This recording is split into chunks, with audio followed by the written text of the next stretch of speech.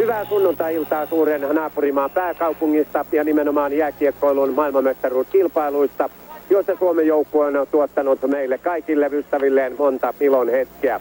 Tänään on kuitenkin Suomen joukkueen leijonilla vapaa päivä, tosin he olivat harjoittelemassa puolentoista tunnin ajan, mutta ottelua leijonilla ei ole. Sen sijaan pääsette nyt seuraamaan Neuvostoliiton ja Tsekoslovakian välistä alkusarjana toiseksi viimeisen kierroksen kamppailua, joka käydään sikäli oudossa tilanteessa, että Tsekoslovakia tarvitsee tästä välttämättä voiton. Sen tietää myös Saksan liittotasavallan päävalmentaja Savi Runsin. Tsekoslovakia tarvitsee voiton, jotta se selviytyisi mitalisarjaan neljän parhaan joukkoon. Sen olisi nyt voitettava Neuvostoliitto ja sitten vielä seuraavalla kierroksella Kanada. Siinä ovat Tsekoslovakian mahdollisuudet. Neuvostoliittohan johtaa sarjaa yhdessä Ruotsin kanssa. Molemmilla mailla on 10 sarjapistettä. Suomi on sitten kolmantena, sillä on yhdeksän pistettä ja huomenna Suomi kohtaa Ruotsin. Salter kohti Neuvostoliiton maalia, mutta laukauksesta ei tule oikein mitään. Tänään päivän ensimmäisessä ottelussa Kanada voitti USA 4-1 ja nousi sarjataulukossa kuuteen pisteeseen ja samalla neljännelle tilalle ennen USAta, jolla on neljä pistettä. Tsekoslovakiallahan noita pisteitä on vasta kolme. Ja kahdessa pisteessä ovat Saksan liittotasavalta ja Puola. Tätä ottelua Neuvostoliiton ja Tsekoslovakian välillä on pelattu 4-45. Numerot ovat edelleen 0-0. Kaikkina aikoina maailmanmestaruuskilpailuissa tämä on näiden maiden 45. kohtaaminen. Neuvostoliitolla on voittoja 25, Tsekoslovakialla 11 ja tasan on pelattu yhdeksän kertaa. Hallitseva maailmanmestarihan on Tsekoslovakia, mutta sitä ei oikein olisi uskonut, jollei tietäisi, kun on katsellut Tsekoslovakian muita alkusarjan pelejä. Rdina joka tapauksessa uskomme, että Tsekoslovakia tänään Neuvostoliittoa vastaan esittää toisenlaisia otteita kuin heikommin menneissä peleissään tästä Neuvostoliiton hyvästä hyökkäyksestä huolimatta. Ja sitten siinä hukkaa paikan Neuvostoliiton joukkueen nelosketju. Neuvostoliitto pelaa neljällä hyökkäyskolmikolla, kolmella puolustajaparilla. Omutov epäonnistuu ja näin lähtee Tsekoslovakia ylös. Rusnak, ei vaan Seiba oli tuo numero 28. Sitten Liiba ja hänen laukauksensa menee Fetisovin mailaan ja kiekko tuonne pääty katsomoon. Viime vuoden maailmanmestaruuskilpailuissahan Prahassa alkusarjassa Neuvostoliitto voitti Tsekoslovakian puhtaasti, mutta sitten yllättäen hävisi mitalisarjassa 1-2. Ja kun joukkue hävisi myös Kanadalle, nipesi sen ote maailmanmestaruuteen ja myös hopeaan. Neuvostoliittohan oli vasta kolmas ja tuota häpeätahraa se yrittää nyt näissä omissa kisoissaan pestä pois. Petisov voittaa kaksinkamppailun, Kasatonov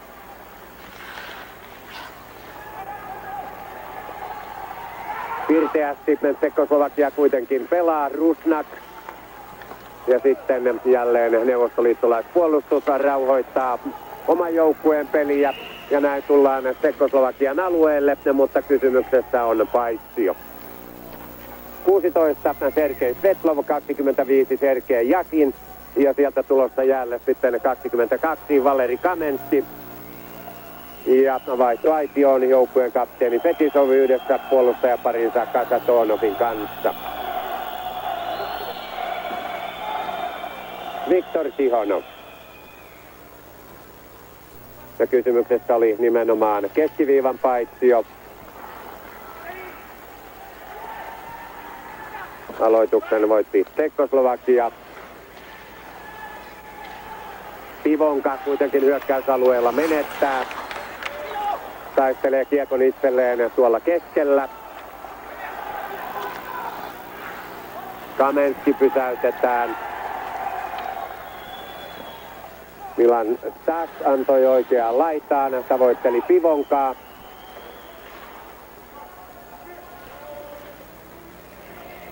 Mutta Tsekoslovakia ei pysty tuolla hyökkäysalueella kiekkoa pitämään. Neuvostoliitto lyö taktisen pitkän ja saa näin sitten ykkösyökkäys kolmikonsa 9 Vladimir Krutov, 11 Igor Larionov, 24 Sergei Makarov peliin mukaan. Jan Starti, Tsekoslovakian joukkueen valmentaja, siinä oikealla. Ykkösvalmentajana hän, hän on Tsekoslovakian joukkueessa ensimmäistä kautta. Aikaisemmin hän on toiminut 70-luvulla kakkosvalmentajan postilla. Aloitus Tsekoslovakialle. Salder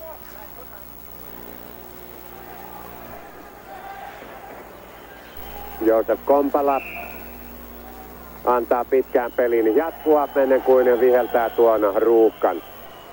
Jaloitus sitten keskialueelle saakka.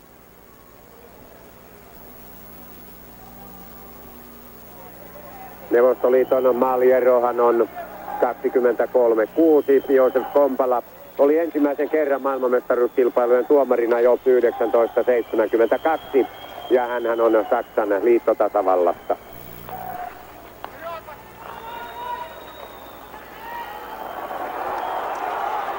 Sitä, että Tsekoslovakian peli ei ole kulkenut, kuvastaa myös joukkueen maaliero. Se on tasan 12-12 viiden ottelun jälkeen. Ja siinä oli kenties paras maalintekopaikka toistaiseksi tässä kappailussa. Tsekoslovakian puolustus pelattiin täysin sivuun. Hikor Larionov pääsi laukaisemaan. Tämä totesi myös Ruotsin valmentaja Kurt Lindström. Kurt Lindström, joka Rauno Korven tavoin voi tässä turnauksessa olla joukkueeseensa tyytyväinen. Täällähän pelataan myöskin Euroopan mestaruudesta ja kamppailussa arvomitaleista. Siinä turnauksessa on huominen Suomen ja Ruotsin peli varsin tärkeä. Molemmilla joukkueilla mahdollisuus hopea mitaleihin. Ja tietysti tämä mahdollisuus on sitten itse MM-turnauksessakin kummallakin. Kahdella yhtä vastaan Neuvostoliitto. Ja siitä tulee sitten ottelun ensimmäinen osuma, kun pelattu on 7.51. Konstantinov ei syötä tuossa tilanteessa. Ampuu päin Hasekia ja sitten tämä antaa paluukiekon torjunnastaan. Konstantinov seuraa hyvin ja näin hän pääsee siirtämään isäntämaan yhden maalin johtoon. Pasek ei voi tuolle osumalle mitään. Ja näin on hieman entistä kauempana tuo Tsekoslovakian loppusarjapaikka. Siinä Konstantinovin laukaus osuu ensin Tsekoslovakian pelaajaan, joka tuossa tilanteessa ei kuitenkaan pysty ohjaamaan sitä maalin sivuun. Ja näin sitten Konstantinov tekee turnauksen ensimmäisenä maalinsa. Ja jälleen tulee punapaitainen Neuvostoliitto. Katlet kuitenkin katkaisee aivan oman maalin edessä.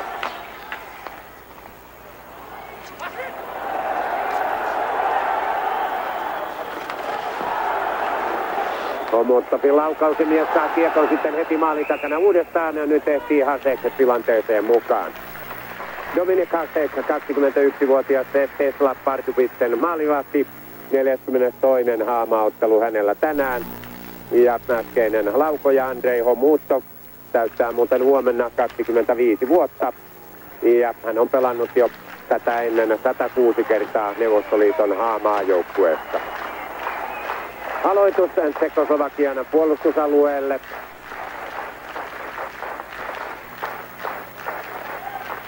Sivonka on Tsekoslovakian aloittaja. Tumenev häntä vastassa. Neuvostoliittolainen voittaa.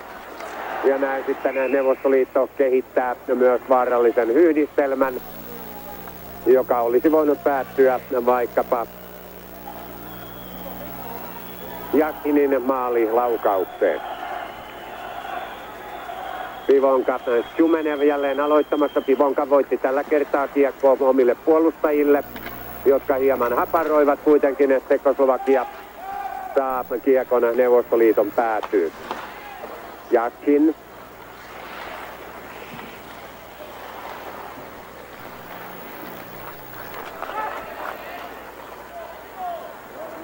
Katlet. Usarov katkaisee keskialueella. Syöttö ei mene kuitenkaan omalle pelaajalle. Katletsin laukaus päin neuvostoliittolaista ja jälleen tulee punapaitojen hyökkäys. Vetlov. Larionov on tullut myös jälleen, antoi keskialueella syötön. Jaskin.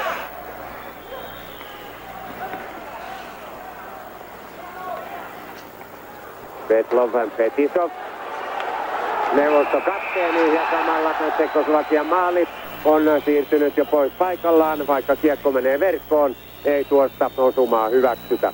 9.27 pelattu ottelun ensimmäistä erää ja numerot Neuvostoliitolle 1-0. Tätä aikaisemminhan Neuvostoliitto on voittanut Ruotsin 4-2, Suomen 4-1, Puolan 7-2, Saksan liittotasavallan 4-1 ja Kanadan 4-0. Joten mitään hätää joukkueella ei oikeastaan ole ollut yhdessäkään pelissä. On hieman sellainen tunne, että täydellä vauhdilla neuvostoyhdistelmät ne ei vielä täällä ole joutunut pelaamaan alusta loppuun saakka missään kamppailussa. Kotsik ja kiekko Neuvostoliiton päätyyn. Ja sitten Peloseikkiin nuori Petjakin Manttelinperiä ottaa kiekon haltuunsa.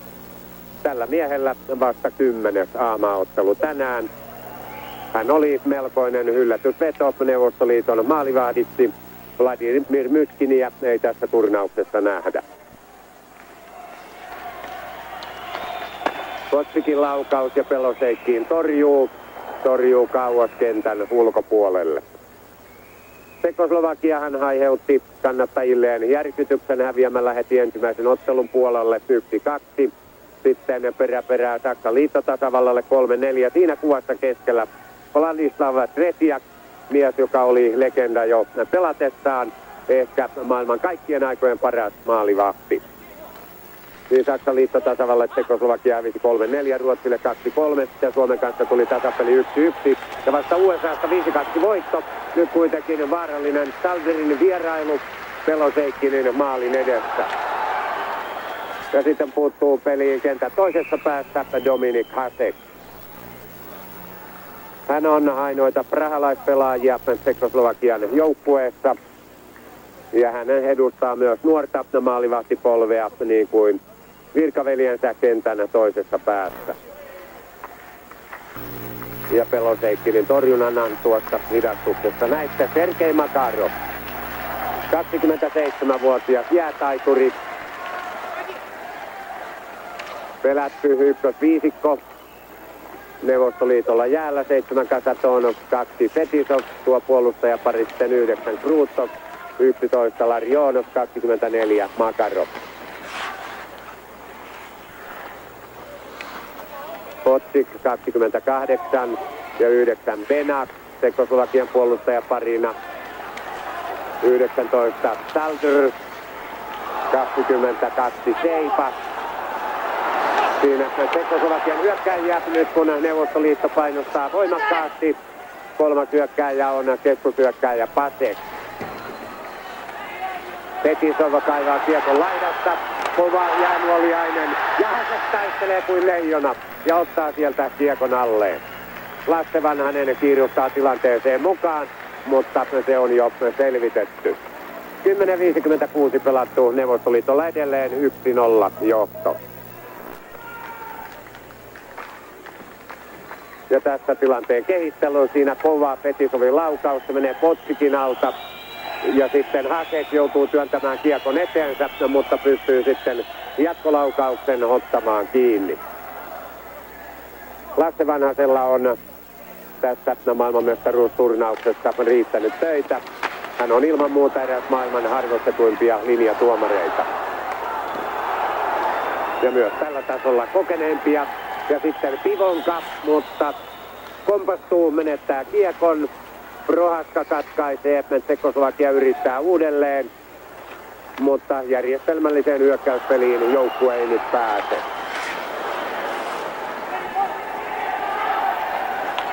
Prohaska. Laukaus ei mene maalivahdille saakka Igor Stelnov. Siniviivan takaa. Oli Diikkovin kova laukaus.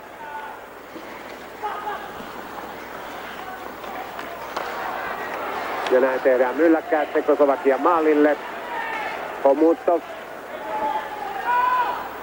Maalin edessä odotti syöttöä Piikkov. Hieman epätarkasti kiekko kuitenkin tuli per Vukin.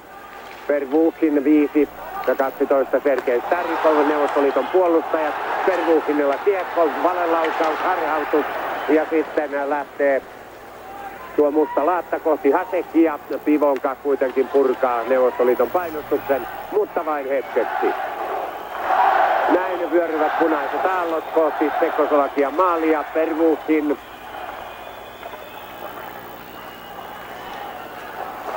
takamiehen paikalta pelataan Kusaroville.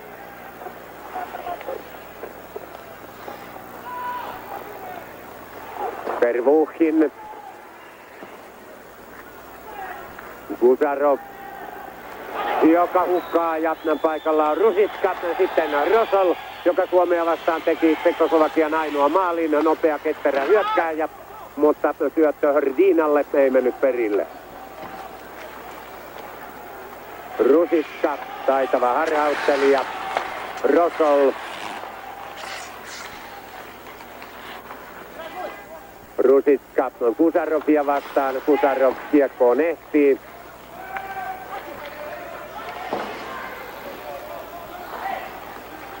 Rosol, mutta Petisov on vastassa. Ja näin Tsekoslovakia joutuu vetäytymään omalle alueelle, menettää sitten myös kiekon. Jakin Svetlov, neuvostoliittolaisista odottivat siniviivalla kiekkoa ja oikean laidan kautta päästiin sitten hyökkäämään. Kasatono. Jaksin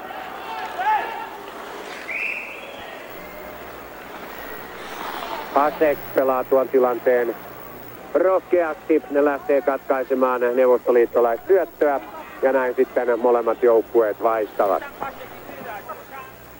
Neuvostoliitolla taas ykkösviisikko jäällä.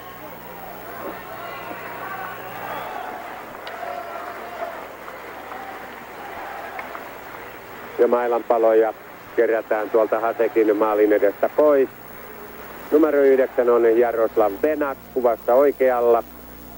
Hän kuuluu jo kokeneimpiin Tsekoslovakian puolustajiin.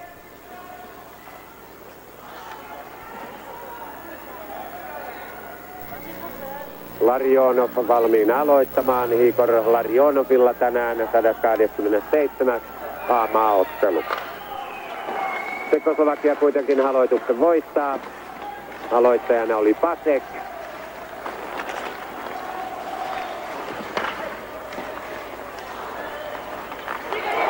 Larionov ja takaa tulee Petisov. Hieno syöttö oikeaan laitaan Krustoville, mutta Hasek pelaa erinomaisesti. Hän on hyvä maalivahti ja hänellä totisesti on Tsekoslovakian maalissa riittänyt tässä turnauksessa töitä.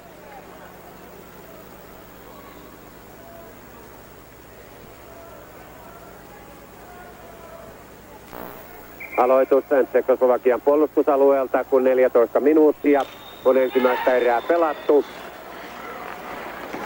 Neuvostoliiton johto edelleen 1-0. Ja sitten yksinäinen Tsekoslovakian hyökkääjä ylhäällä. Ja tuohon kiekkoon pääsee pelaamaan Makarov. Apuun tuli Kasatonov. Sitten väliin Katlet, Petisov. Ja näin Neuvostoliitto hukkaa kiekon. Mutta ottaa sen uudestaan. Larionov. Tavoitteli Makarovia takatolpalta. Krutov Kolme Tsekoslovakian pelaajaa vastassa, mutta Krutov on harhauttaa heidät kaikki. Hasek kuitenkin sitten lopullisesti tilanteen pelastaa. Ja jäälle sitten Valeri Kamenski. Neuvostoliiton uusia lupauksia. Kaksi päivää sitten 23 vuotta täyttänyt pelaaja, jolla tänään kuitenkin vasta 13 maa maaottelu. Jevgeni Peloseikin on jonkin aikaa ollut maalissaan työttömänä. Venyttelee näin pitääkseen itsensä vetreänä tulevia töitä varten. Jatseslav Tykov, Neuvostoliiton aloittaja, numero 27, aloitus kuitenkin Tsekoslovakialle. Neuvostoliitto ylhäällä käymässä kiinni. Liipa löytyy kuitenkin vasemmasta laidasta. Ja sitten takana Lala. Liipa ja Lala ovat molemmat Tsekoslovakian joukkueessa olleet toistaiseksi suuria pettymyksiä. Lala tällä kerralla harhautus onnistui. Ensimmäisen vastaan tulijan kohdalla, mutta sitten jatkoi enää suju. Kaiken lisäksi tilanne on paitsio. Ja siellä kuvassa kolmas vasemmalta Günther Säpetki, kansainvälisen jääkiekkoliiton puheenjohtaja.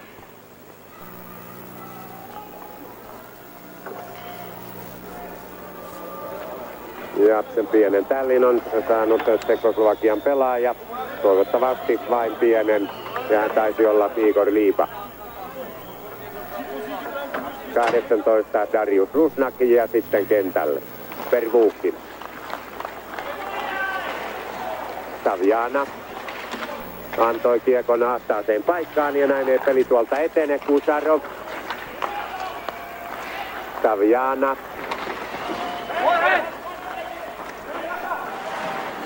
Taas uusia pelaajia Tsekoslovakian joukkueessa yrittää kiertää oikealta, mutta Neuvostoliiton puolustus hoitaa tilanteen. Ja Hasek joutuu lähtemään erittäin terävästi mallistaan ulos. Toivottavasti siinä neuvostoliittolaispelaajan luistin ei osunut häneen. Hyvin vaarallisen näköinen tilanne. Siinä nopealla terävällä pystysyötöllä tavoiteltiin siniviivalla odottanutta Neuvostoliiton hyökkääjää. Nähtävästi Hasekse tuossa kuitenkin sitten vaan sai tuollaisen jääsuikun tuonne silmikkonsa taakse. Ja pystyy ilman muuta peliä jatkamaan. Peliä, josta ensimmäistä erää on jäljellä 3 minuuttia 55 sekuntia. Tsekoslovakian joukkueen lääkäri kävi varmistamassa tilanteen tuolla maalivahtinsa luona. Ja häntä saattelee sitten jäältä pois joukkueen kapteeni Darius Rusna. Ja näin peli taas käynnissä. Petisov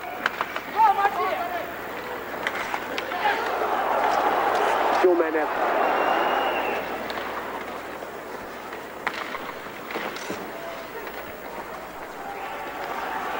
Petisov.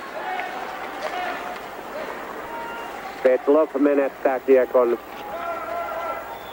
Tsekoslovakian pelaajista Rusitska kiekon perään ja sinne etsii kuitenkin Kasatonov. Näin tulee pitkä aloitus päästään Tsekoslovakian puolustusalueelle.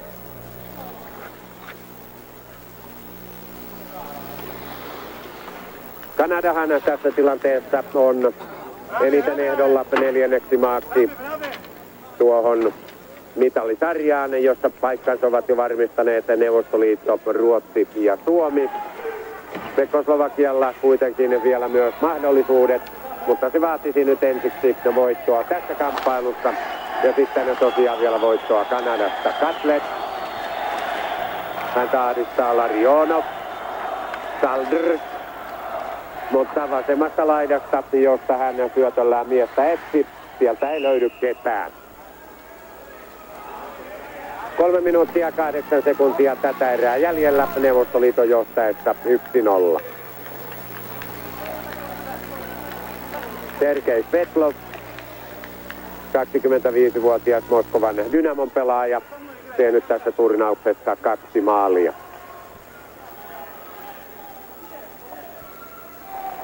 Larionov otti tuon aloituksen Neuvostoliitolle. Selnov. Hänen pelinumeronsa on neljä. Syöttö keskellä jopa Dusan Pasek ja oikeassa laidassa Vladimir Salder. Sitten taas Pasek, mutta hän kaatuu. Ja näin Neuvostoliitto hoitaa tilanteen. Ruuhka Neuvostoliiton on eteen, Salder ja Larionov. Siinä olivat taisteluparina. Ja sitten kerran Simov linjatuomareista ottaa kiekon.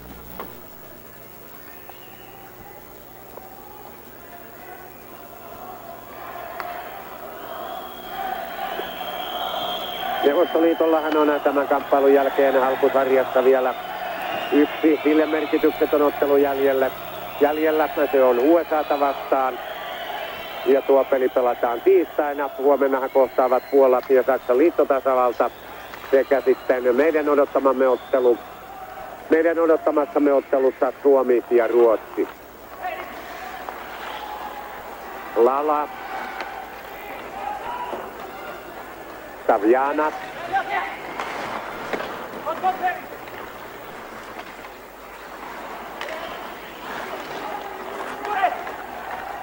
Lala vasemmalta etsi Rudnakia, mutta Neuvostoliitto nappaa taas kiekon. Tuossa keskialueella Neuvostoliitto on ottelun hallitseva osapuoli, vaikka sieltä Igor Liipa nyt oli päästä sitten ja pääsikin oikeastaan yksin Peloseikkiniä vastaan, mutta kiekko ei ollut täysin hänen hallussaan. Lala Lala taas yli keskiviivan. Kolme Neuvostoliiton pelaajaa vastassa. Lalalla ei tuossa ollut oikeastaan mitään toiveita eteenpäin pääsystä. Puolitoista minuuttia ensimmäistä erää jäljellä.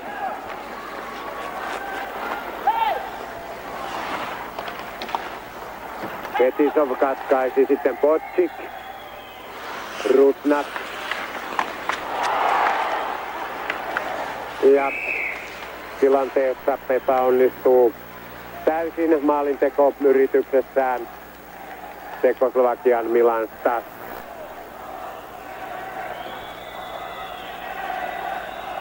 Ja siinä näette, miten Stassin mailasta kiekko ei lähde oikeastaan minnekään, vaikka peloseikin näyttävät sitten päälle hyppää. Peloseikkinillä tuo torjuntatyyli, sen pelityyli maalissa on varsin persoonallinen. Näyttää joskus, kun hän olisi kaatumassa aivan eri suuntaan, minne hän sitten lopulta, kuin minne hän sitten lopulta syöksyy. Mutta joka tapauksessa hyvä maalivahti. Joosep Kompala.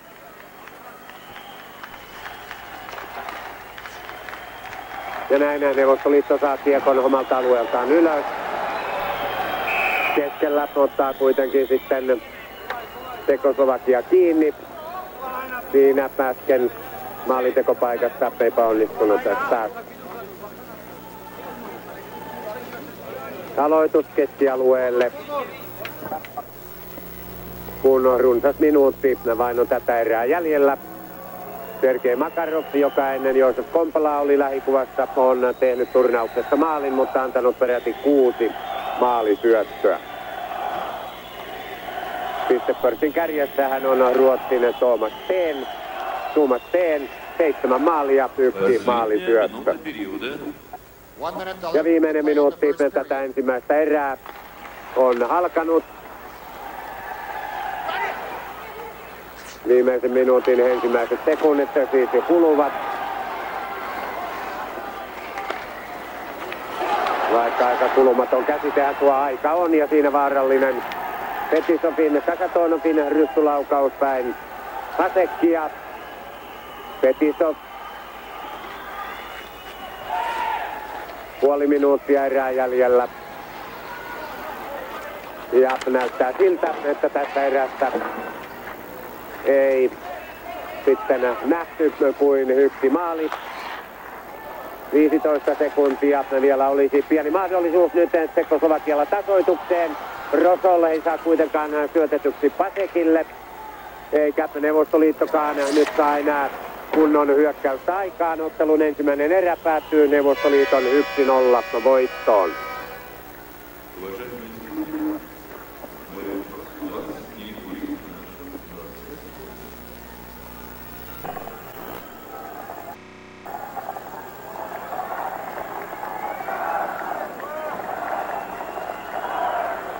Kaksi minuuttia 17 sekuntia pelattu ottelun toista erää.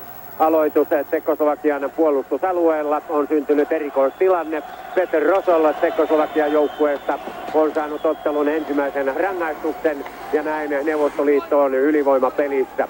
Makarovilla kiekko Neuvostoliiton kokoonpano tässä tilanteessa vanha tuttu. Petisov, Kasatonov, Makarov, Larionov ja Krutov. Tsekoslovakia kuitenkin purkaa tuon ylivoimapyörityksen. Kasatonov viemässä kiekkoa ylös. Tsekoslovakian puolustus vastassa pysäyttää hänet. Ja näin Neuvostoliitto joutuu taas ottamaan vauhtia keskialueen puolelta Petisov. Pistepörssissä tehokkain mies. Makarov kaatuu sitten jäähän kahden Tsekoslovakian pelaajan väliin, mutta kiekon kaivaa Larionov. Ja jättää hyvin taakse puolustajalle tämä Makaroville, joka ampuu hyvin, mutta Hasekon tilanteessa valppaana. Minuutti vielä Rosolin rangaistusaikaa jäljellä. Neuvostoliitto hakee voimakkaasti ottelun toista maalia. Larionov päädyn kautta Makaroville. Makarov pyörittää siellä liibaa.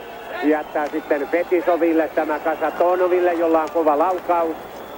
Kiekko kuitenkin nousee korkeuksiin, pysyy pelialueella. Larionov, Fetisov, Makarov. Ja sinne neljän keskelle nousi sitten Kasatonov, mutta syöttö ei tullut aivan hänelle. Ja näin tilanne laukeaa. 20 sekuntia vielä kuitenkin Rosolin rangaistusta jäljellä. Alivoimamiehitystään on Tsekoslovakia tässä muuttanut ja Neuvostoliitto jatkaa samalla ylivoimaviisikolla. Näyttää kuitenkin siltä, että Neuvostoliitto ei tässä nyt ylivoimamaalia tee, ei tee, sillä Tsekoslovakia on täysilukuinen.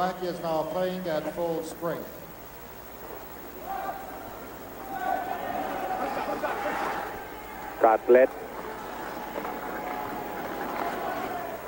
Rosol, Rusitska. Ja kiertää Starikovin, ei kuitenkaan pääse syöttämään sitten Hördina. Konstantinov taklattiin railakkaasti laitaan. Ja sitten siellä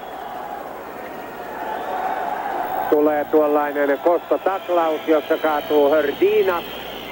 Ja näin tulee sitten ottelun toinen rangaistus. Ja sen saa puolestaan Neuvostoliiton pelaaja. Ja hän on Vladimir Krutov. Pelattu 4-49 ottelun toista erää. Ja nyt sitten Tsekoslovakialla oma etsikkoaikansa, kun Vladimir Krutov on rangaistusaitiossa. Krutov on ollut tehokas tässä turnauksessa kaksi maalia, viisi maalisyöttöä, mutta tällaista panosta vähintään tältä vasemmalta laita hyökkääjältä on tietysti odotettukin tuosta Neuvostoliiton ykkösviisikosta. Tuosta viisikosta Larionov on antanut, tehnyt kolme maalia, antanut yhden maalisyötön. Makarov puolestaan on tehnyt yhden maalin ja antanut kuusi syöttöä. Ja nyt sitten Tsekoslovakian ylivoimapeliin. jota Neuvostoliitto pyrkii rikkomaan varsin ylhäällä, aivan tuolla Tsekoslovakian maalin tasalla. Käy voimakkaasti valkopaitoihin kiinni. Rusnak syöttö Liipalle liiaksi eteen. Rusnak, Liipa ja Lala Tsekoslovakian hyökkäjistä tässä erikoistilanteessa. Toinen puolustaja on Benak. Nyt sitten kuitenkin Neuvostoliitto alivoimalla Potsikon Benakin parina Tsekoslovakian puolustuksessa. Ja keskialueen puolelle. Bruustovin rangaistusaikaa jäljellä minuutti 17 sekuntia. Igor Stelnov, joka on vakiinnuttanut paikkansa Neuvostoliiton maajoukkueessa. Teteskoa Moskovan pelaaja. Tuosta seurastahan on suurin osa Neuvostoliiton maajoukkueen miehistä. Ja neuvostoliittolaisista Rusikkaa vastaan haloitukseen Larionov ylivoimakokoonpanossa nyt Tsekoslovakian joukkueella 10 Rosol 17 Rusiska. Sitten 24 Hördina, 8 Katlet. Ja tämän puolustaja parina. Moimer Potsik. Kiekko saadaan Neuvostoliiton alueelle. Katlet ja Prohaska on nyt Tsekoslovakian puolustajaparina tässä erikoistilanteessa. Piikova pystyy sitten rikkomaan Tsekoslovakian ylivoimapainostuksen, jos oikeastaan nyt sellaista vielä on nähty. Ja 40 sekuntia vajaa sekin enää Kruutsofin rangaistusaikaa jäljellä. Katlet hakee päädystä.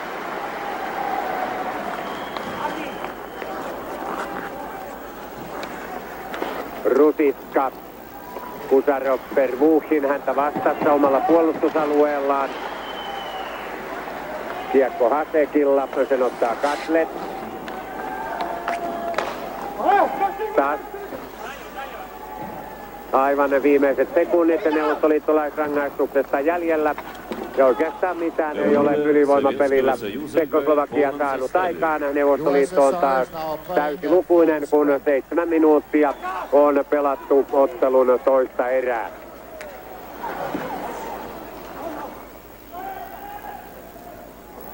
Kasatonov. Pervuukin.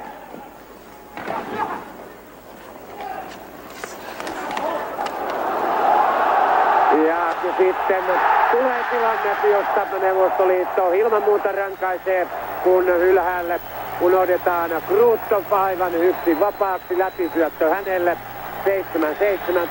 7-17 pelattu ottelun toista erää. Neuvostoliitto johtaa 2-0 ja yleisön riemulla Lusnikallissa ei ole rajoja. Tärkein vastustajahan, vastustajahan Neuvostoliitolle sarjatilanteesta huolimatta on Tsekoslovakian joukkue, joka useimmin on pystynyt Neuvostoliiton voittamaan. Krutov siis tämän maalin tekijä. Näin Krutov tehnyt kolme maalia, antanut viisi maalisyöttöä. 2-0. Ina. Sitten Rosol, Prohaska. Rusiska ei ole kuitenkaan tilanteessa täysin hereillä eikä pääse kiekkoon. Milev. Omutov. Sumenev ja vaarallisesti Hasekin maalin eteen. Melkoinen mylläkkä, missä on kiekko. Jossakin Homutovin alla tulee sieltä vielä esiin.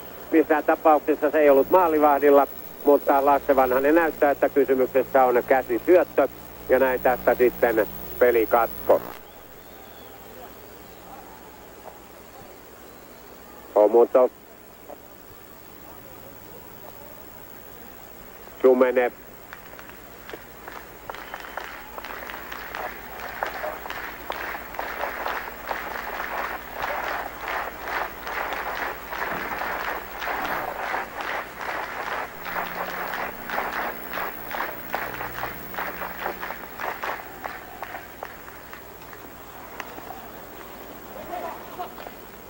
Piikko.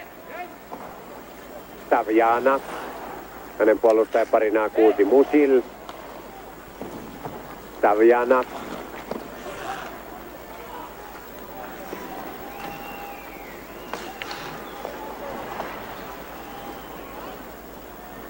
Musil, Katlet. Odotti syöttöä, Musil antaa sen nyt. Gusarov.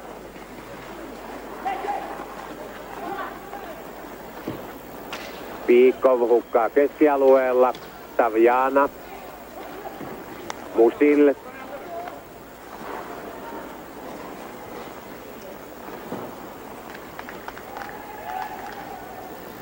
Ja nopea Makarov hakee omalta alueelta kiekon, ottaa sen omalta puolustajalta.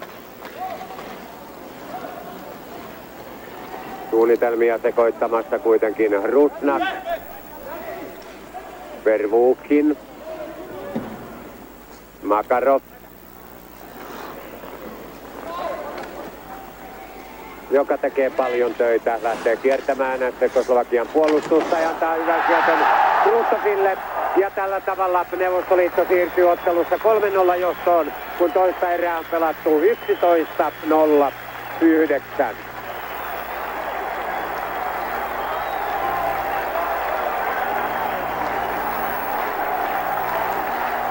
Sergei Makarov, joka pani tuon hyökkäyksen alkuun.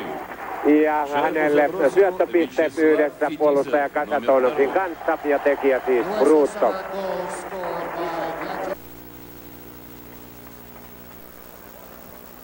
Tervetuloa sitten seuraamaan ottelun kolmatta erää. Sitä on pelattu nyt 2 minuuttia 50 sekuntia. Tilanne jäällä on sellainen, että kummallakin joukkueella on ainoastaan neljä kenttäpelaajaa. Aivan pian on kuitenkin Neuvostoliitto tulossa täysilukuiseksi Neuvostoliitto, joka johtaa ottelua edelleen 3-0. Ja Petisovhan oli tuo mies, joka teki Neuvostoliiton kolmannen maalin. Ja siihen maaliin syöttäjäksi tuli Sergei Makarov, niin kuin aivan oikein olikin. Sitten maalitekopaikka Tsekoslovakialla ja punainen lappu syttyy. Kyllä, kiekko siinä käy kokonaisuudessaan maaliviivana tuolla puolella ja ajassa 3.17. Kolmatta erää Tsekoslovakia on kaventanut kolmeen yhteen ja pienen pieniä mahdollisuuksia joukkueella on vielä kääntää tämä ottelu voitoksi, vaikkakaan näihin mahdollisuuksiin nyt ei kovin paljon kannata kuitenkaan uskoa. Joka tapauksessa joukkue pystyy neljällä pelaten, neljällä oli myös vastustaja tekemään tämän kavennuksen. Ja siinä tilanne vielä kertaalleen. Jevgeni Beloseikin loppujen lopuksi luisui aika kauaksi tuolta maalistaan.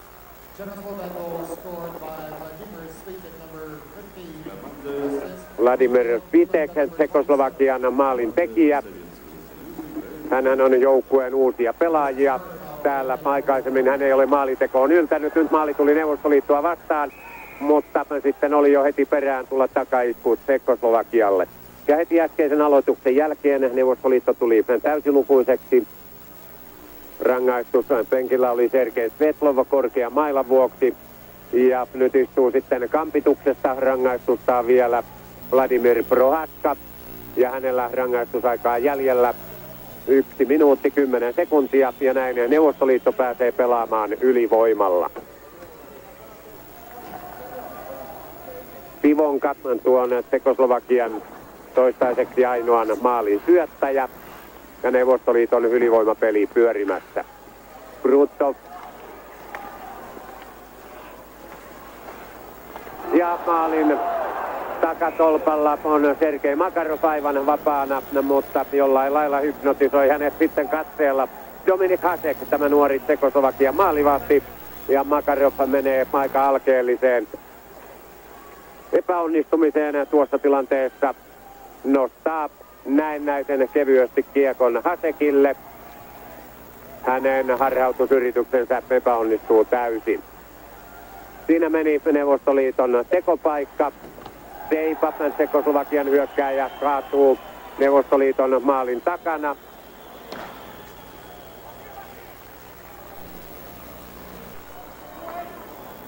Ja sitten Fetisov tuo taas Neuvostoliiton ylivoimahyökkäyksen Tsekoslovakian puolustusalueelle.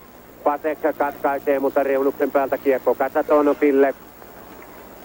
Aivan parhaalla mahdollisella tavalla ei Neuvostoliiton ylivoimapeli nyt kuitenkaan kulje. Ja 15 sekuntia vielä Prohaskana rangaistusta jäljellä, kun sitten Hasek saa venyä parhaimpaansa. Fetisov Tsekoslovakia purkaa tuon Neuvostoliiton painostuksen aivan heti juuri nyt on Tsekoslovakian joukkue myös jo täysilukuinen. Rangaistuksia on Tsekoslovakialla ottelussa toistaiseksi ollut kahdeksan minuuttia, Neuvostoliitolla kuusi ja kiekko nyt katsomon puolelle. Ottelun alussa puhuin pistepörssistä, Tuumas Teena, Ruotsi, siis siellä kärjessä seitsemän maalia, yksi maalisyöttö. Toisena on USAn Brett Hall, kuusi maalia ja kaksi maalisyöttöä. Jaetulla neljännellä tilalla Kirk Müller, Kanada, Jatteslav Piikkova, Neuvostoliitto ja Hannu Järvenpää, Suomi. Kaikilla neljä maalia ja kolme maalisyöttöä. Kari Makkonen on jaetulla 11 tilalla Ruotsin Håkan Södergrenin kanssa. Ja näillä molemmilla miehillä kuusi pistettä.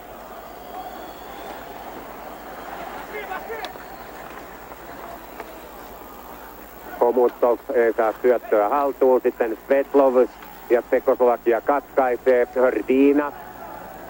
Hördina, Rusitka, Rosol.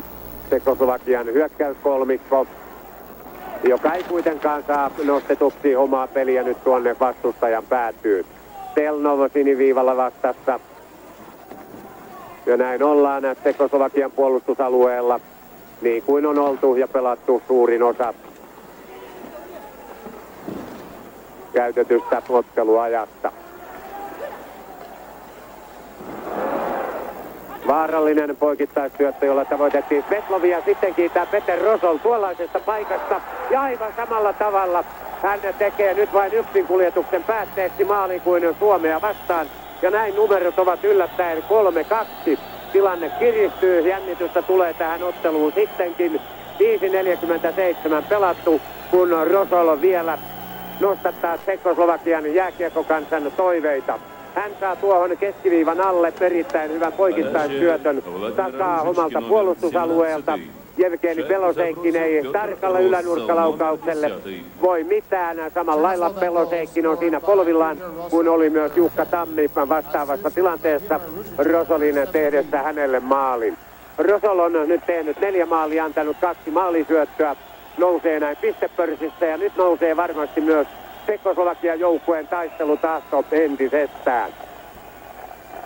Mahdollisuus voittoon toki yhdistelmällä viime vuoden maailmanmestareilla vielä on Jan Starti ja Frantisek Pospisille tietävät tämän.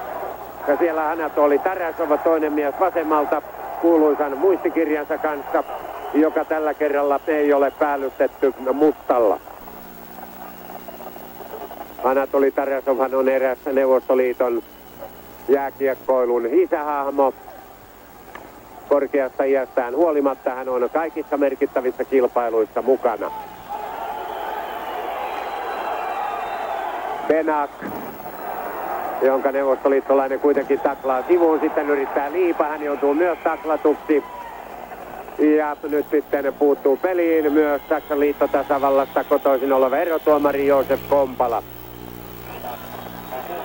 hymyillen panee sitten rangaistusaitioon Neuvostoliiton pelaajan, kun 6-19 on kulunut ottelun kolmatta erää ja hän, tämä pelaaja, on Juri Mylev, joka nyt joutuu tuonne rangaistusaitioon. Hän on uusimpia kasvoja, yllättävimpiä valintoja tässä Neuvostoliiton maajoukkueessa. Rosolin maaliin syöttäjäksi merkittiin Rusiska. Hän oli se mies, joka Tekoslovakian antoi havaustyötön tuohon keskialueelle, josta Rosolla sitten lähti vauhdikkaaseen kuljetukseen, joka päättyi terävään ja tarkkaan laukaukseen, jolla Tsekoslovakia kavensi kolmeen kahteen. Ja nyt Tsekoslovakialla siis ylivoimatilanne, Hördina yrittää Petisovin ja Kasatonovin välistä, on kuitenkin tilanteessa yksin. Kiekko joka tapauksessa Neuvostoliiton puolustusalueella. Näin se sieltä siivotaan pois. Hasek nopeuttaa peliä, tulee kiekkoa vastaan. Musil. Ferdina. Oikealla Rosol, maalintekijä, jättö Rdinalle. Sitten Rosol. Ja puolustaja Rohaskan laukaus melko pahasti ohi. Rosol Näin pyörii Tsekkoslovakian ylivoimapeli ja siinä tarjottiin jo maalia Hördinalle.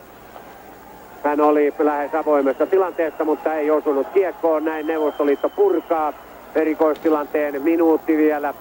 Miilevin rangaistusaikaa jäljellä. Prohaska.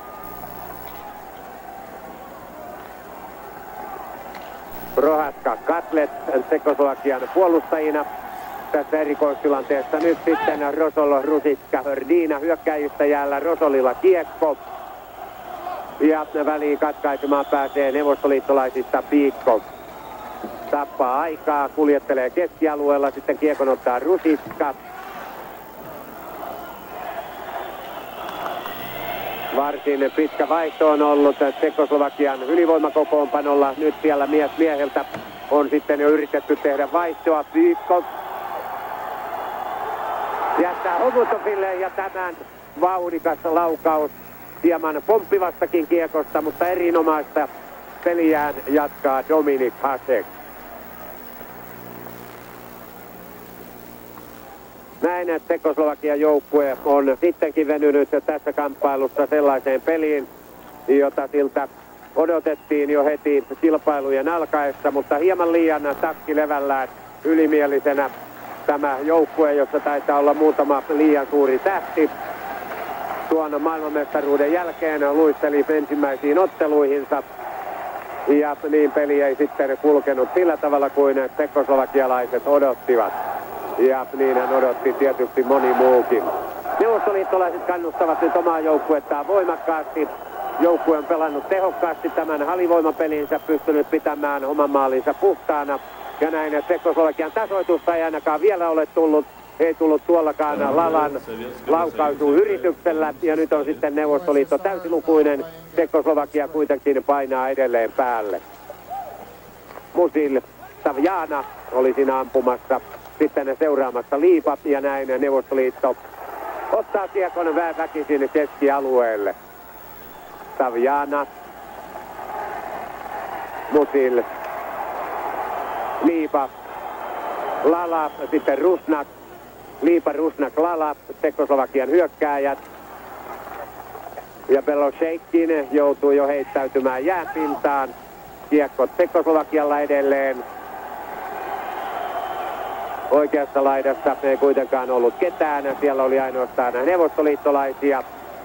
Ja sitten Rusitska katkaisee keskialueella.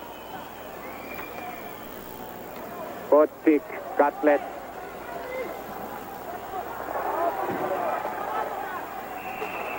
Ja aivan selvä paitsio, 6-7 metriä. Tuo voisi viheltää vaikkapa tahalliseksi paitsioksi. Tunteet jo hieman kiihtyvät, 9-20 viimeistä erää pelattu. Ja Neuvostoliitolla niukka 3-2 johto. Ottelun kokonaishallinnasta huolimatta Olli Hietanen oli vasemmalla ja Savin Unsin Saksan liittotasavallan valmentaja hänen vieressään.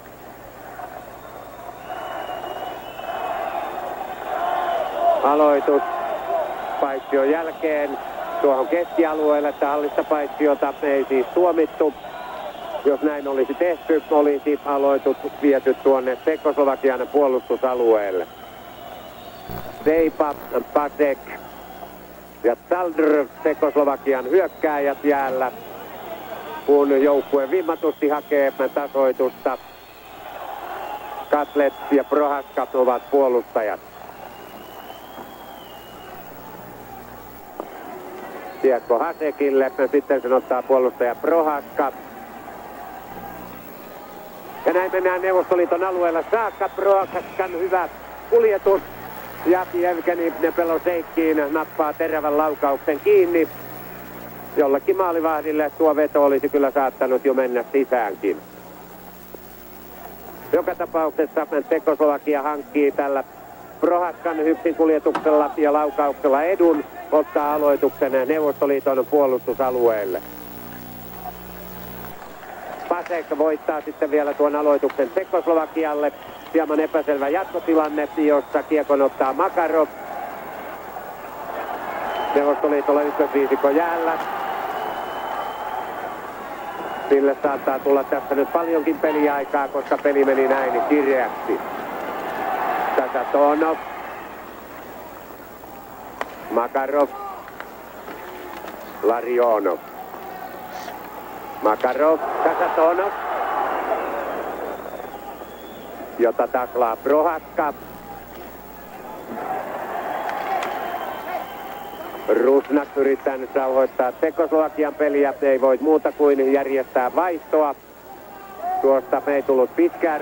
Rusnak oli jo keski viivan yli. Ja nyt näyttää sitten Joosef Kompala, että siellä on tapahtunut väärä vaihto. Liian monta miestä kentällä yhtä aikaa. Ja tästä tulee rangaistus 10-30. Viimeistä erää pelattu. Ja Tekoslovakialle tämä on takaisku ja tuota joukkueen rangaistusta menee kärsimään Hördina varsin varsin pahaan aikaan Tekoslovakian tasoitusyrityksen kannalta tämä rangaistus tulee. Hördinahan on joukkueensa kokeneimpia ja myös nimekkäimpiä pelaajia. Hänen seuransa on Sparta Praha, ikää 28 vuotta miehellä ja tänään jo 115 aamaaottelu menossa. Sergei Jatsin ja toinen Sergei Svetlova siinä neuvottelivat ja näin sitten Neuvostoliitto ylivoimapeliin, jota pelaamassa nyt ei ole tuo ykkösviisikko, joka äsken oli pitkään jäällä. Stelnovi ja Starikov Neuvostoliiton puolustajat, Jumenev, Jaskin ja Svetlov hyökkääjät. Neuvostoliittolaispelaajat nyt loukkaantuneena jääpinnassa Tsekoslovakian puolustusalueella ja tilannetta menee tarkistamaan. Erotuomaristo, siihen kumartuu myöskin Sergei Svetlov. 10.51 viimeistä erää pelattu. Ja siellä on sitten Tsekoslovakian rangaistusta jäljellä minuutti 39 sekuntia. Suomella siis seuraava ottelu huomenna. Se on joukkueemme viimeinen tässä alkusarjassa. Tuo ottelu pelataan Ruotsia vastaan ja sen näette TV-ohjelma yhdessä alkaa kello 18.45. Ja tuossa ottelussa ratkeaa sitten myös se, minkä värinen Euroopan mestaruusmitali tänä vuonna ripustetaan Suomen pelaajien kaulaan. Tällä hetkellä hän EM-tilastossa EM-sarjataulukossa olemme kolmannella tilalla, niin kuin olemme myöskin MM-turnauksessa. Mutta loppusarjahan tässä MM-turnauksessa alkaa sitten kaikkien neljänä sinne selviytyneen joukkueen osalta ilman pisteitä. Ja paarit tuodaan kentälle. Loukkaantuminen on sen verran vakava, että neuvostoliittolaispelaaja joudutaan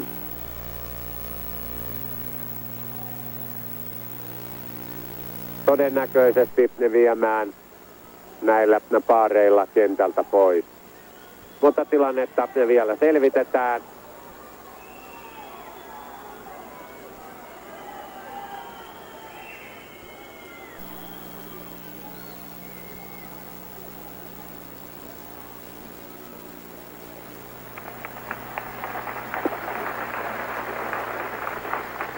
Ja näin yleisö osoittaa sitten suosiotaan. Ei tietysti sille, että loukkaantuminen tapahtui vain tuolle, vaan tuolle pelaajalle, jonka ottelu tällä tavalla päättyy hänen esitykselleen tässä ottelussa.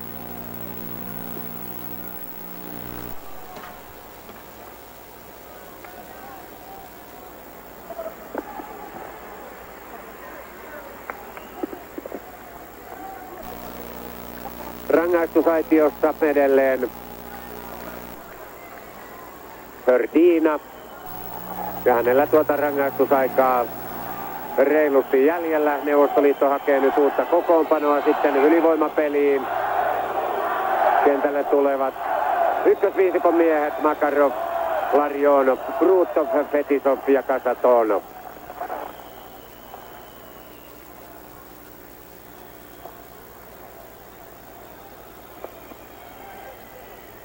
Loukkaantunutta pelaajaa äsken en nähnyt. Hän oli todennäköisesti Neuvostoliiton äskeisen kentällisen hyökkääjä pelaaja Seiba. Tavoitteli Pasekkia. Tekoslovakialle erittäin tärkeätä olisi pelata nyt tämä alivoimapeli sillä tavalla, että takaiskua ei tulisi. Muussa tapauksessa joukkueen tehtävä muuttuisi jo mahdottomaksi. Seipa rikkoo Neuvostoliiton ylivoimapeliin sitten kiekon ottaa Petisov.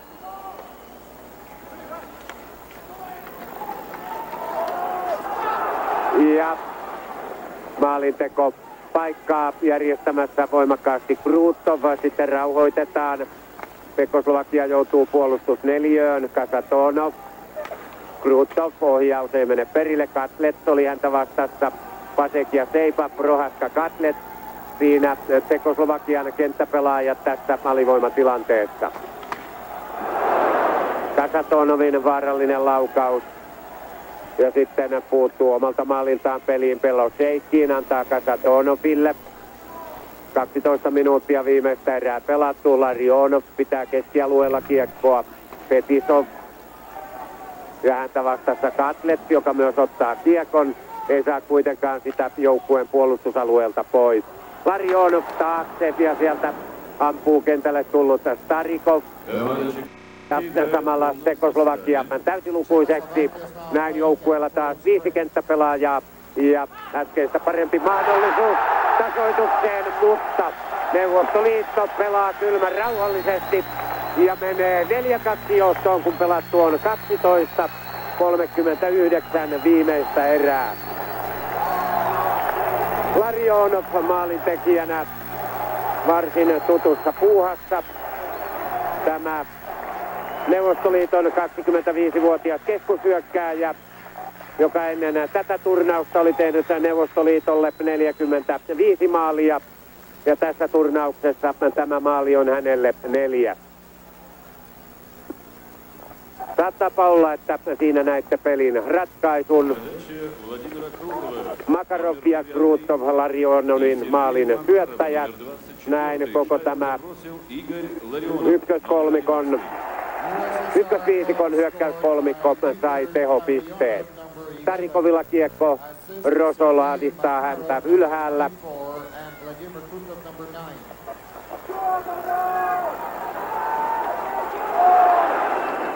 Taas paha kolmella kahta vastaan neuvostoliittolaisyökkäys. Rusiska.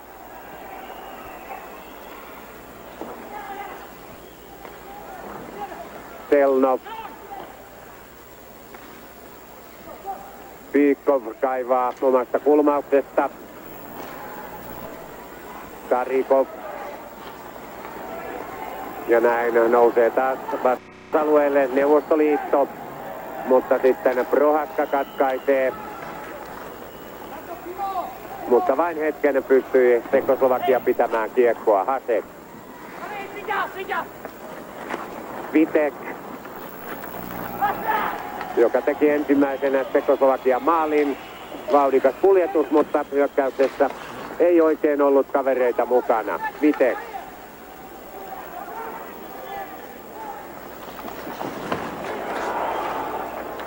nuorten miesten ketju, Vitek, Pivonkas, taas Tsekoslovakialla jäällä.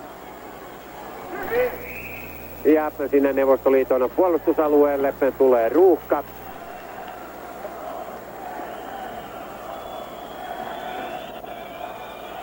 Näin Neuvostoliitto on tässä ottelussa tehnyt neljä maalia ja neljä maalia se on tehnyt täällä varsin monessa pelissä Ruotsia, Suomea, Saksan liittotasavaltaa ja Kanadaa vastaan. Ainoastaan Puolaa vastaan joukkue on tehnyt enemmän maaleja. Puolanhan Neuvostoliitto voitti 7-2. Katsotaan sitten vieläkö isäntämaan maalitili tässä kamppailussa kasvaa. Sergei Makarov yksi maali tässä turnauksessa. mutta maalisyöttöjä sitten sitä enemmän. Kiekko Neuvostoliiton aitioon, Tsekoslovakian pelaajan mailasta.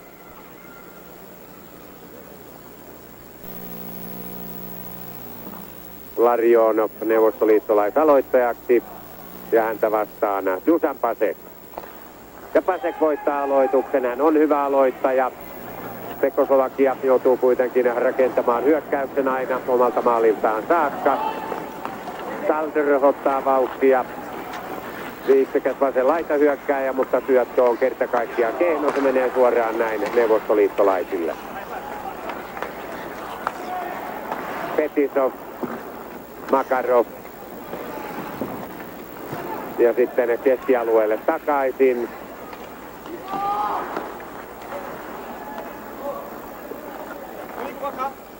Savjana. Saldrus. Pomppiva kiekko päin Peloseikkini ja Makarov. Brutto. Ja Larionov.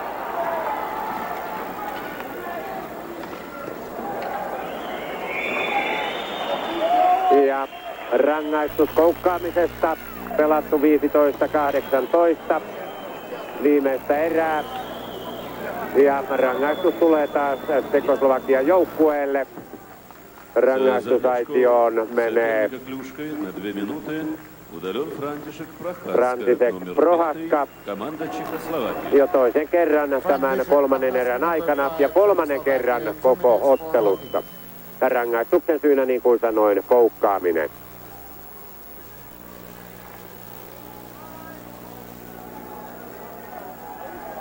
Neuvostoliitto lähtee ylivoimapeliin. Viikkovinen johtamalla hyökkäys kolmikolla. Vasemmassa laidassa on 22 nuori Kamenski. Sen keskellä 27 Viikko. Ja oikeassa laidassa 15 Andrei Homutko. Neljäs Telnom 12 Starikov puolustajat. Starikovin laukauksen ottaa Hasek helposti kiinni ja sitten pompauttaa kiekon tuonne katsomon puolelle. Melko tahallisen tuntuisesti, mutta tästä ei seuraa muuta kuin uusi aloitus Tsekoslovakian puolustusalueelta. 15.25 pelattu 1.52. Vielä Prohaskan rangaistusaikaa jäljellä.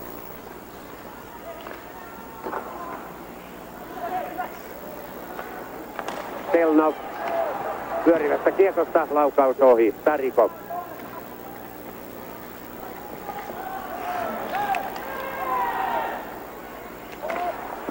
Ja suoraan syötöstä ampuu Makarov tällä kerralla kuitenkin epäonnistuen. Ja nyt on sitten peräti kuusi miestä yhdessä mylläkässä Tsekoslovakian maalin takana.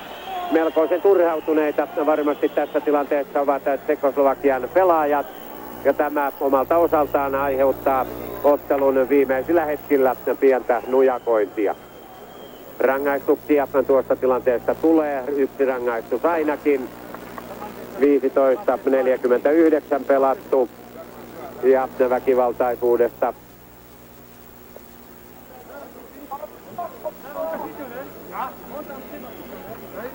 ja jostain muusta syystä rangaistus Eipä tule kuin yksi rangaistus siltä näyttää ja se tulee Neuvostoliiton pelaajalle. Valeri Kamenskille, joka on siinä kuvassa. Tämä kokematon neuvosto, neuvostoliittolaispelaaja. Kokematon nimenomaan kansainvälisellä tasolla. Kamenskille tämä maaottelu on 13 ja hän pelaa ensimmäistä MM-turnausta ja on pystynyt tekemään yhden maalin. Aloitus sitten puolueettomalle alueelle, koska hyökkääjäpelaajan virhe oli kysymyksessä Tsekoslovakian puolu- puolustusalueella.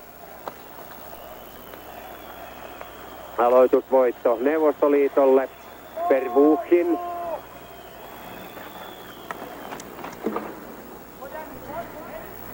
Neljä minuuttia otteluaikaa jäljellä. Rusiskalla kiekko. Kumpikin joukkue joutuu melkoisen ajan pelaamaan vajaalla. Minuutti on vielä ensimmäistäkin rangaistusta jäljellä. Siinä ei Konstantinov ottelun avausmaalin tekijä pystynyt harhauttamaan vastassa ollutta Tsekoslovakian miestä. Katlet. Pitkä syöttö katkaistaan siniviivalla. Ferdina. Pienestä kulmasta laukaus ohi. Tavjana.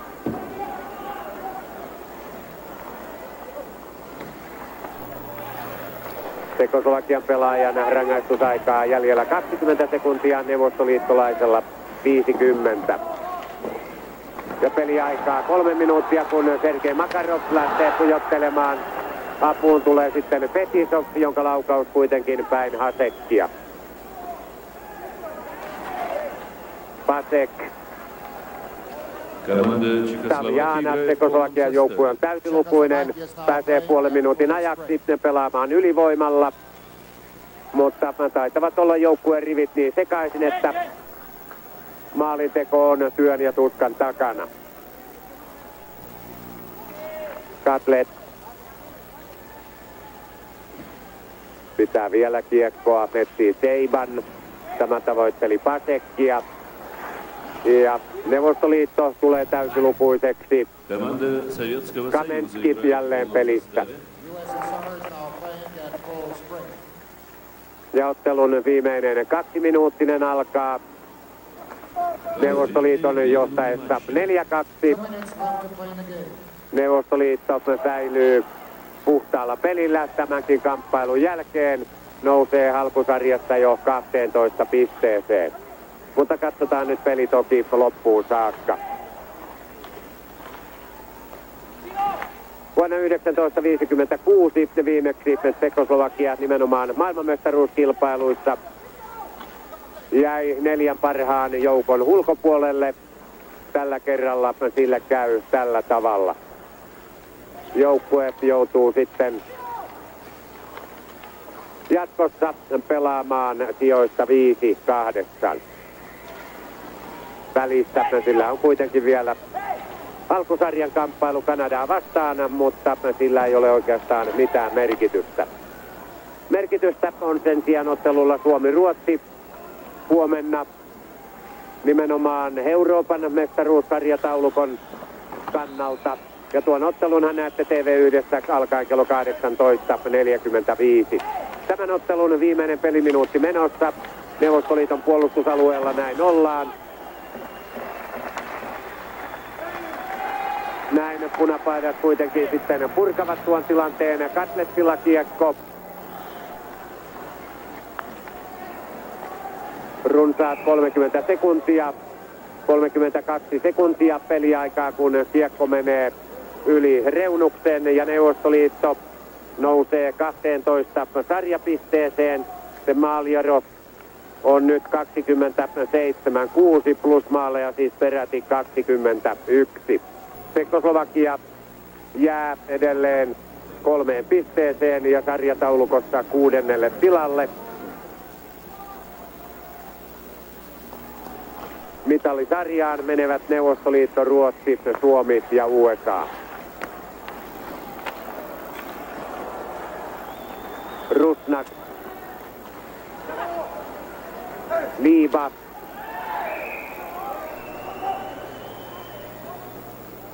Poikittainen maila näyttää Joosef Kompala vielä. Pelin viime hetkillä 19.44 pelattu.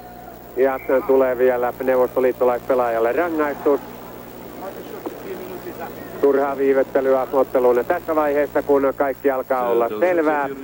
Nyt sitten Konstantinov luistelee tuonne rangaistusaitioon. 4-2 numerot siis Neuvostoliitolle, kun 16 sekuntia on peliaikaa jäljellä aloitus puolueettomalta alueelta. Petlov ja Rusnak vastakkain. Gusarov Liipa vielä taisteluparina. Ja vielä tulee rangaistus. Korkea maila näyttää nyt Kompala, kun 10 sekuntia on otteluaikaa jäljellä. Anatoli Firsov, maineikas takavuosien neuvostoliittolaisyökkääjä, tarkkailee tilannetta ja toteaa, että sekava meni pelin loppu. Tekoslovakialainen vielä rangaistusaitioon.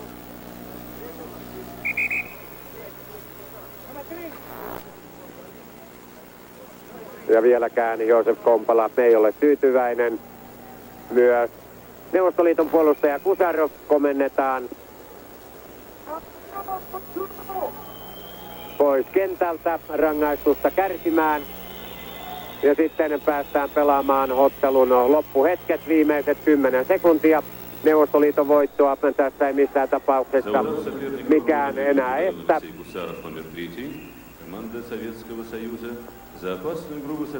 Ja näin päästään aloitukseen Neuvostoliiton puolustusalueelta.